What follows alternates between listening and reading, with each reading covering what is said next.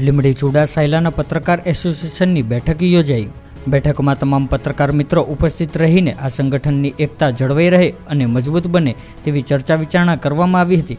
સુરેન્દ્રનગર જિલ્લાના લીમડી ચુડા અને સાયલાના પત્રકારો એસોસિએશન દિન પ્રતિદિન મજબૂત બનતું જાય છે.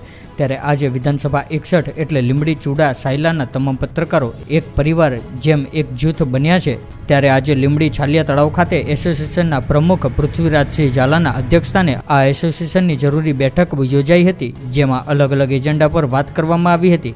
જેમ કે દરેક તાલુકામાં એક ઓફિસ બનાવવામાં આવે અને પત્રકાર પર કોઈ પણ સુખ દુઃખમાં ભાગ લઈને તમામ પત્રકાર મિત્રો ખભેથી ખભો મિલાવીને પરિવારની જેમ સાથે રહે અને અનેક મુદ્દાઓ સાથે એસોસિએશનમાં ઉપપ્રમુખ અને મહામંત્રીની જગ્યા કેટલાક સમયથી ખાલી હતી.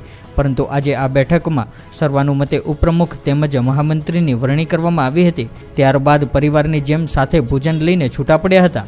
Sanjay Katudiya, DP news, Chuda.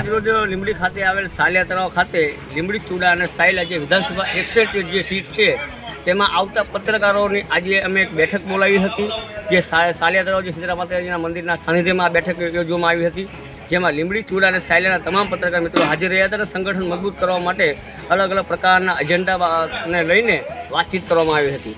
તેમજ પત્રકારના હિતની પણ વાત કરવામાં આવી હતી અને જે પત્રકાર શું છે અને પત્રકાર કઈ રીતે કામગીરી કરવી જોઈએ તે પણ બાબતની વાત કરવામાં આવી હતી. અને આવનાર સમયમાં પત્રકાર સંગઠન અમારું મજબૂત બને એવી તમામે આહવાન કરવામાં આવ્યું તમામ દ્વારા. Subscribe now and press the bell icon never miss an update.